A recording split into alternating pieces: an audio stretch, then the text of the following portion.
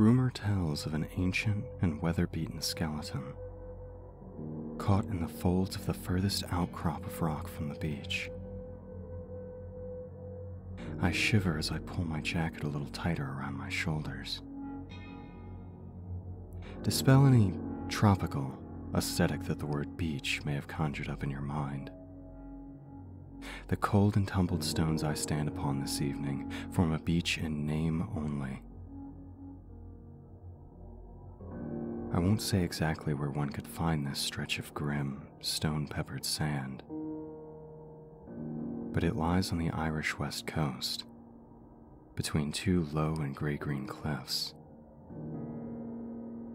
The outcrop is visible from here, normally a stony island far out at sea, marked by a large and knife shaped rock stuck out at an angle towards the sky. But this evening, the outcrop is reachable.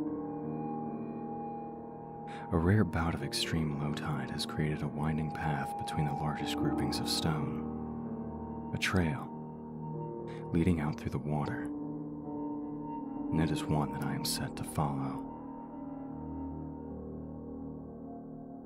I tie up my hair and hop down onto the stones of the beach with a crunch.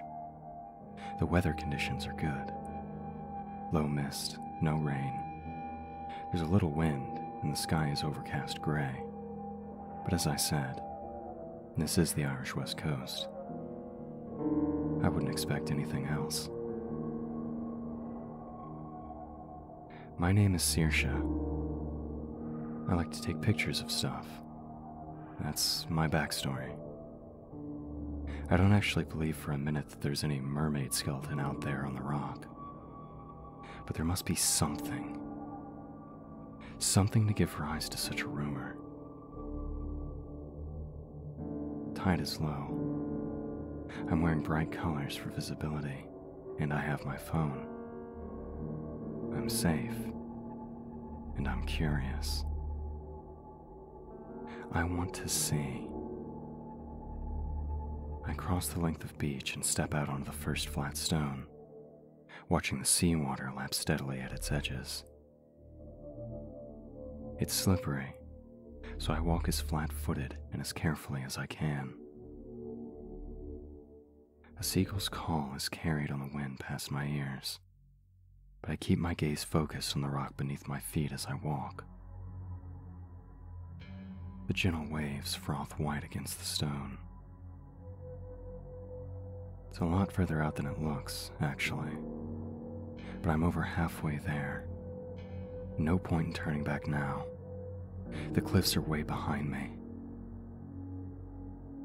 I glance up. The sun hovers above the tip of the outcrop's key identifier, the stone in the shape of the knife. Its light is a white blur behind the gray.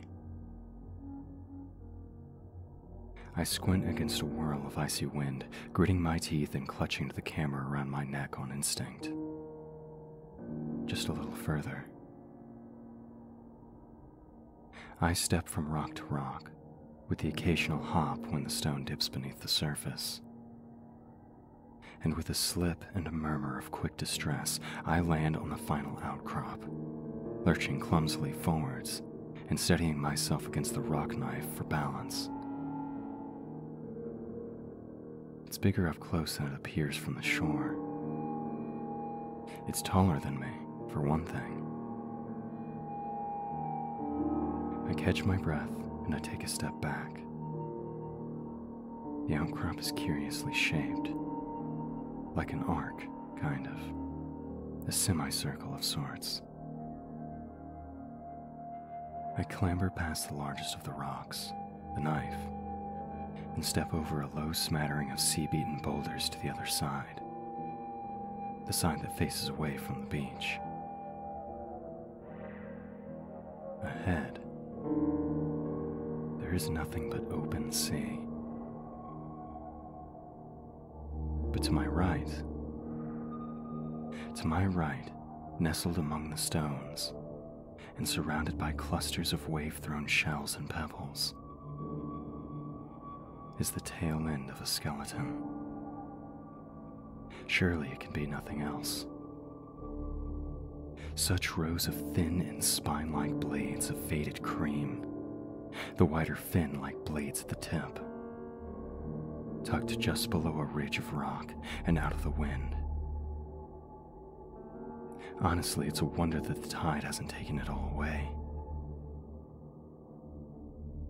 I walk around the edge of the outcrop. The wind rumbles in my ears. And around the corner, behind a sea smothered boulder, the skeleton of the great fish ends in a human torso. I stare at it in disbelief. I laugh, first of all. It must be a prank. But the laughter fades. The laughter fades, and I find myself mesmerized by this impossibility. This anomaly out here on the rocks. The body is human. There's no doubt about that. Ribs and spine. The skull is lolled to the side and wedged against the slippery stone. It is still human to my eye, though the teeth, the teeth are much sharper than one would expect to find in the body of a human, man or woman. Easy, Saoirse. I mutter to myself out loud. This thing isn't real. It can't be. But I cannot look away. The skeleton is mesmerizing in its beauty, ethereal, yet sad. I remove my camera from around my neck and snap a couple photos. I reach down to the bones, and after a brief hesitation, grab hold of one of its ribs. It disconnects from the slimy rock with a little crunch and a burst of seawater droplets. And I become at once aware that my surroundings have changed. The change is difficult to place, however, and I do not notice the lack of light until I turn to the west to look to the horizon. The sun has disappeared, and the sky's dark edge has blurred with the end of the sea. The sea is choppier now. It froths and crashes maliciously against the outcrop and draws with it the rising winds. I take a step back, a little higher up and away from the water. I turn towards the beach. But the way back is lost. Impossible, I think to myself, beginning to panic. This cannot be. But time has definitely passed. I become aware of the gentle ache in my legs, as if they had been held in place for a long period of time. My breathing becomes shallower. The outcrop is an island once again. It stands far out from the shore, alone and dark in the night. Help! I choke out, then clear my throat and try again. Help! But there is no response. Fuck. Oh, fuck. But it's okay. I still have my phone. Both hands are occupied, one with the camera and the other with the bone. I step away from the waves as I grab the strap of the camera, and my foot splats wetly against the smooth stone. I stumble and slip with a shout, and I swing down my hand to protect my face as I fall to the rocks, smashing the camera hard against the stone in the process. Glass and plastic burst out at all angles as I land on my side, grunting in pain. A wave washes the cold water of the Atlantic up and against my body and I shiver as I haul myself angrily back to my feet. Camera is ruined.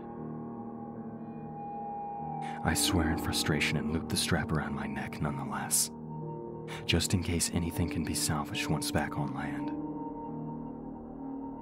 If you make it back to land, Saoirse. I reach a shaking hand down into my pocket for my phone. Except it's not there. Now I am really starting to panic. I check my other pocket. I check all four of them. I search through every pocket in my jacket, then I repeat the entire process twice more. But it's not there. The phone I was so sure that I remembered is simply not with me. I must have left it behind. My heart bangs like a drum in my chest. I spin round back to the beach, foolishly near slipping for a second time, and shout again for help, screaming, Help! Please! But the beach is dark and deserted. There is no one, and my calls go unanswered. I swivel, facing west, hyperventilating. I look down at the long, thin, curved bone from the skeleton in my hand. For reasons unknown, I am still holding it. A part of me doesn't want to let it go. Something glitters in the sea and catches my eye. I lift my gaze, retreating as far as I am able. Out there, in the dark water, pale blue lights shimmer beneath the surface flickering. The froth and ebb and pull of the waves lose their rhythm. Or at least, they do in the sea right in front of me. And to my horror, a figure begins an ascent from beneath. As if walking on hidden stone steps, he gradually rises. I press my back up against the knife shaped rock. There is nowhere for me to go. I can only watch in terror as the shimmering, gray skinned monstrosity strides from the sea. The man, for it is a man, albeit one warped and distorted, wears a torn and tattered salt stained robe, dripping and wet, though the material might once have been white. His eyes are like those of a great fish, bulging out from the sides of his face, lidless and staring. He comes to a stop about two meters in front of me. His feet are submerged in the water, but I cannot tell what, if anything, he is standing on. I do it.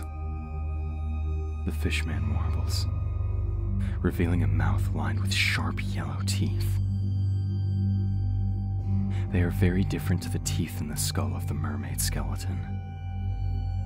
His are much longer and thinner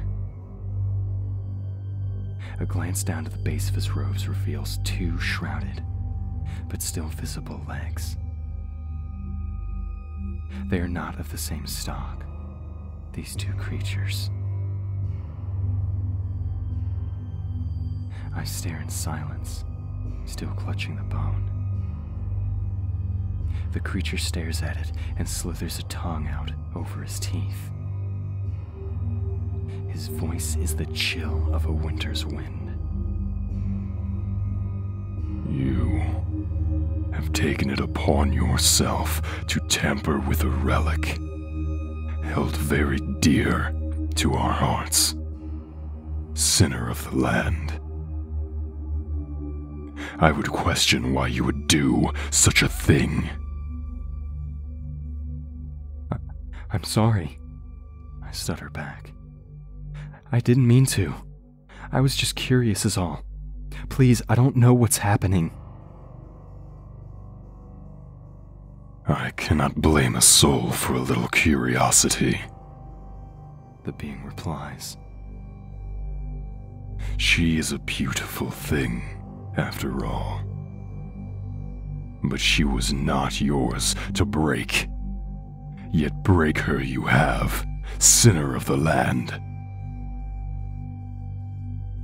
I'm sorry, I swear. I'm no sinner. We are all sinners. The creature replies somberly as thunder rolls over the distant sea. I. I can put it back, I say, swallowing with a dry throat, moving to return the bones to its original place. But the creature's eyes flash and bulge. Its lips peel back, and those terrible teeth are revealed with a sharp intake of breath. He puts out a hand towards me. A hand that is more of a fin, really. The finger like appendages held together with thin, translucent gray webbing. I freeze. Ah, He says, as it happens, land sinner, explorer from across the stones. There is a simple way for you to make amends for your trespass, intended or otherwise. The skeleton of the mermaid fair is held in naught but the highest regard among my congression. I would ask that she be returned to us. Back to where she belongs. Her bones belong in our cathedral, landwoman. Let us take her home.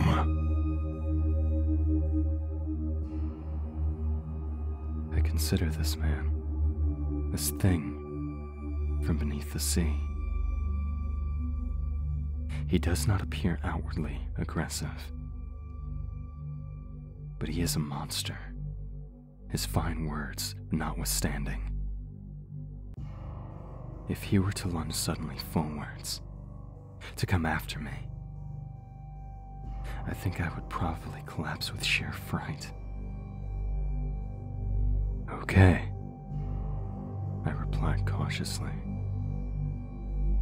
And the man thing twitches.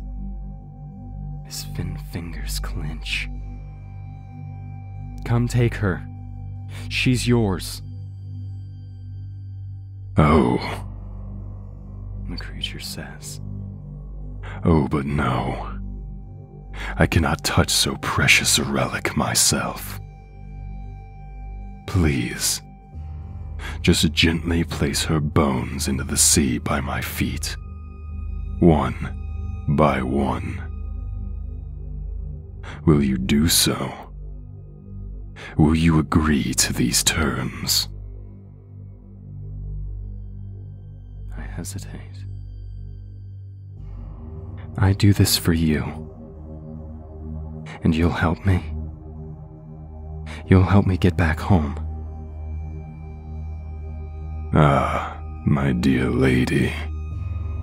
He replies, with a wet hiss that might well have been the edge of a chuckle. Home is a curious thing. and the wind becomes a little sharper. I laugh nervously in response, but there is no humor in it. With a swirling, crashing, cascading circle of waves out beyond the sea, something tall and shadowy arises from the water. It brings with it many of the pale blue lights. It's a spire, I realize like one you'd see on a cathedral, but black and twisted. Up it rises, up and out of the sea. I stare at it in terror and wonder. Place the bones at my feet. Then go for the next. speaks the monster. Just a little too harshly. I back away, eyes darting between him and the impossible spire in the sea. All right. Hold on now. Just hold on. I manage in response. Just tell me you'll help me get back to shore. Place the bones into the water. She belongs to us. We will take care of her. The creature replies, eyes fixated on the rib in my hand.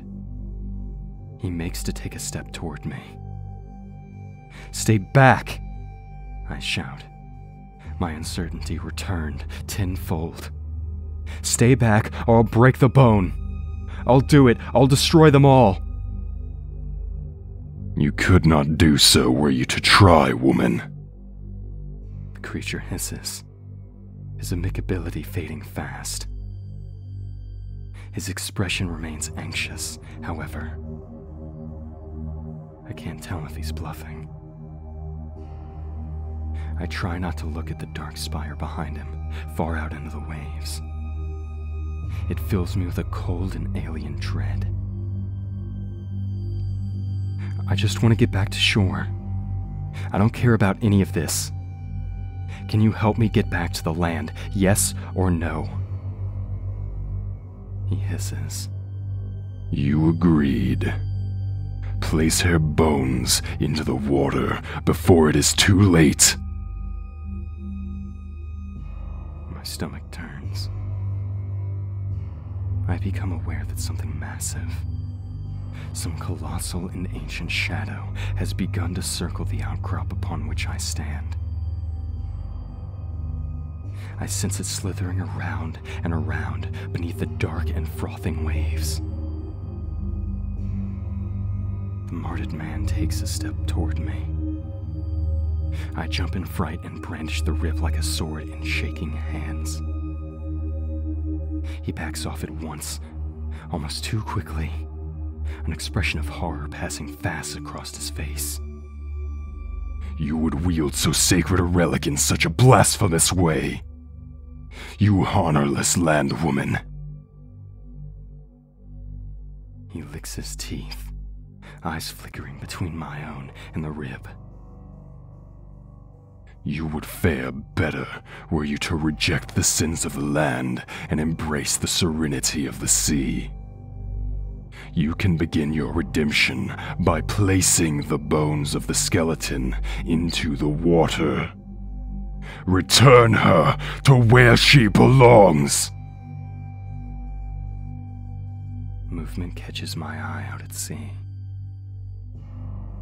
I glance over the creature's shoulder, and he turns to look as well.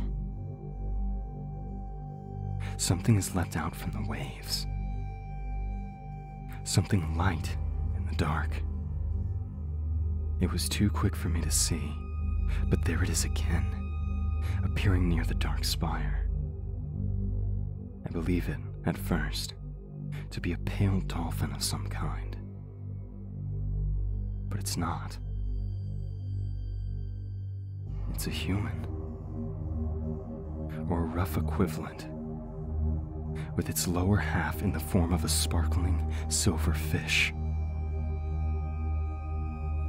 I look from it to the skeleton, then back.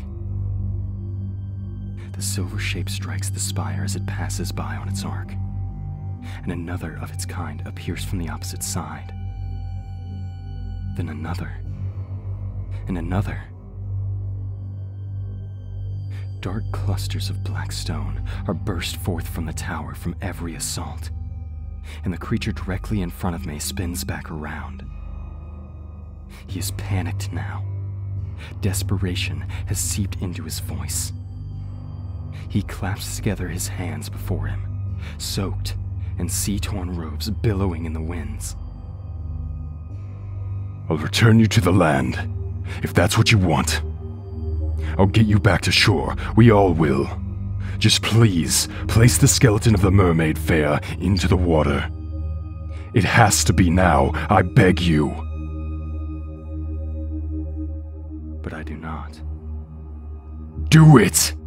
He screeches.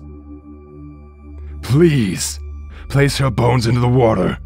Let us take her home. But I follow my gut and deny the creature his wish. He hisses and curses. He swears in a language I do not understand. And then he turns, striding quickly back beneath the churning waters on invisible steps. A wave carries up over his head and crashes out at the rocks beneath my feet. And he is gone. I carefully return the taken bones to its original place. And it holds. I look back out to sea and watch the assault on the towers as my hair is whipped about my face. The spire starts to slowly descend, and I watch it disappear from sight as drizzle begins to fall from the sky. Drizzle that quickly becomes a torrent of freezing rain. The enormous shape that circled the outcrop has departed, I can sense. It has left me be for now but it has been replaced by others. Pale bodies in the water, with silver and shimmering tails. They move too fast and swim too deep for me to get a good look, but they are the creatures that attacked the tower. Unlike the robed monster with bulging eyes and fish like fins, these entities remain in the water. They circle me, slowly. But they are watching. They are watching me carefully. I can feel it. I crouch down and huddle against the rock, arms wrapped about my knees, and I look out to sea. I allow the night to creep by as the rain leaks down my face drifting in and out of consciousness. Hour after hour, I wait. The temptation to study the mermaid skeleton once again, to draw from it another bone, perhaps, is strong. I allow it to wash over me, but I do not let it take hold and as sure as the sun must rise in the morning, the sea, to my exhausted relief, begins to settle. Light returns to the world, and I realize that the creatures that circled the outcrop are circling no more. The tide returns to a level that will allow me to walk all the way back to shore. A rarity but one that I do not question, and one that I do not take for granted. I clamber to my stiff and aching legs. Then, with a grunt, I jump awkwardly from stone to stone and steadily back to the beach. As I do so, I refrain from looking back. In truth, I do not know what the creature wanted with the skeleton. Perhaps he was genuine. Though, to be honest, I quite doubt it. I don't know what horrors lay hidden beneath the waves. Horrors that, to my relief, were only merely teased and I don't know the story behind the skeleton as much as I wish I did. It's a story that screams to be told, a case that is just begging to be explored. And it's for this reason. Whenever I ask myself if I'll ever return to that outcrop. I find that I do not know the answer.